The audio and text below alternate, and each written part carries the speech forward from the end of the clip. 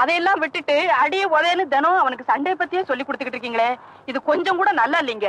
பிற்காலத்துல அவன் பிழைக்கிறதுக்கு ஒரு விவசாயத்தையோ ஒரு வியாபாரத்தையோ சொல்லி கொடுத்தா அவனுக்கு உதவியா இருக்கும். அதை விட்டுட்டு என்னங்க இதெல்லாம்? காமாட்சி வியாபாரியா இருந்தாலும் விவசாயியா இருந்தாலும் அவங்களுக்கு வீரம் தேவைதான். அடியே காசையும் பணத்தையும் அவங்க காலத்துல அவனால சம்பாதிக்க முடியும். ஆனா வீரத்தையும் தைரியத்தையும் பிள்ளைங்களுக்கு பெத்தவங்க தான் ஊட்டி வளர்க்கணும். காமாட்சி நான் ஒரு பெரிய கொள்ளக்காரனா இருந்தது உனக்கு தெரியுமில்ல? அது மாத்திரம் இல்லை பல கொலைகளை செய்து பல குடும்பங்களை அழிச்ச வேண்டினா எனக்குன்னு ஒரு மனைவியும் குழந்தையும் ஏற்பட்டதுக்கு அப்புறம் தான் மத்தவங்க மனைவி மக்களை கொள்றது எவ்வளவு பெரிய பாவம்னு தெரிஞ்சுக்கிட்டேன். அதுக்கப்புறம் தான் அந்த கொள்ள கூட்டத்தை விட்டு பிரிஞ்சு இப்ப திருந்தி வாழ்ந்துகிட்டு இருக்கிறேன். ஆனா என்னைக்கு இருந்தாலும் என்னுடைய பழைய நண்பர்களால நமக்கு ஆபத்து வரலாம். அந்த ஆபத்துல நம்மளை நாமே பாதுகாத்துக்கணும் இல்லையா? அதுக்கா தாண்டி இதெல்லாம் இவனுக்கு சொல்லி கொடுக்குறேன். வாடி வட.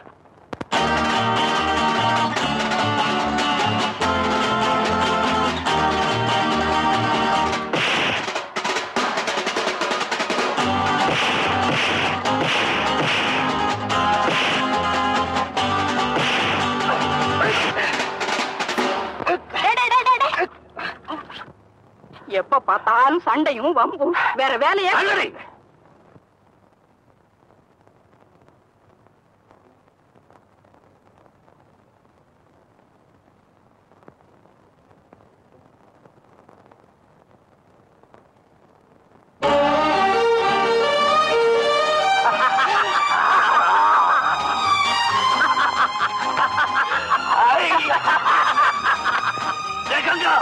நீ பெரிய வீரனாயிட்டடா.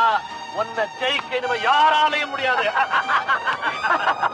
காமாட்சி பெரிய தாண்டி உன் மக தேறி தாண்டி தேறிட்டான் என்னை யாரும் அசைக்க முடியாது ஆட்டிக்க முடியாது. என்ன யாரும் ஆட்டிக்க முடியாது. அப்பா என் மேல கோவப்படாத புள்ள நேருக்கு நேரு நின்னா கேக்குறேன்.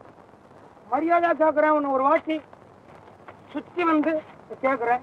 எனக்கு பாக வேணும். பிரிச்சு கொடு சொத்து. அடடே. அப்பா கிட்ட பேசிட்டு இருக்கேன் நான் என் குதிரையை மறந்துட்டேன். டேய் கண்ணா கொஞ்சிடுறா. உனக்கு சீனி நான் போடுறேன். உனக்கு பசிச்சா நான் போடுறேன்டா.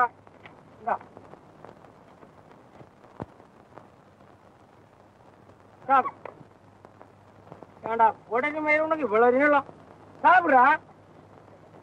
கையில கொடுத்தாதான் சாப்பிடுயா இறையா.